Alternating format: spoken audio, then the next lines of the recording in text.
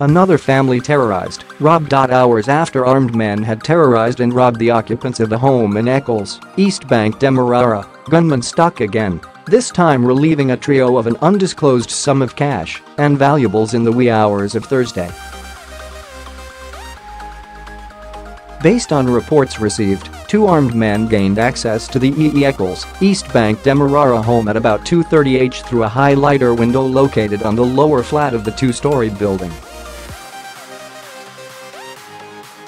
At the time, Krista Vicente, 29, Mohamed Zameer Bana, 30, and Prathish Madan, 19, were at home, having earlier secured their home and retiring to bed at about 0.15 h on Thursday.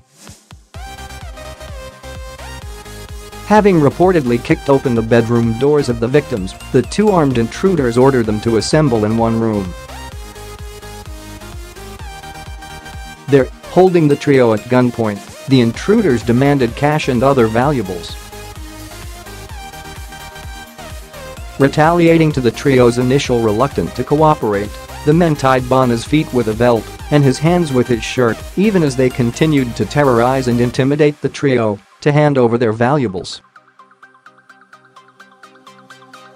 While one of the men held the trio at gunpoint, the other ransacked the home and found two Movado wristwatches, one gold wedding band, two high-end mobile phones, one electronic tablet, a laptop computer, and an undisclosed sum of cash.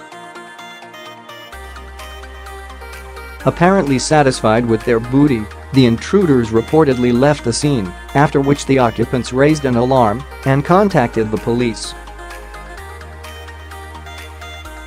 When the police arrived, they took statements and dusted the area for fingerprints. However, nobody has as yet been arrested, but investigations continued. Last Wednesday, four persons were terrorized and robbed after four armed men burgled their home in the wee hours of the morning.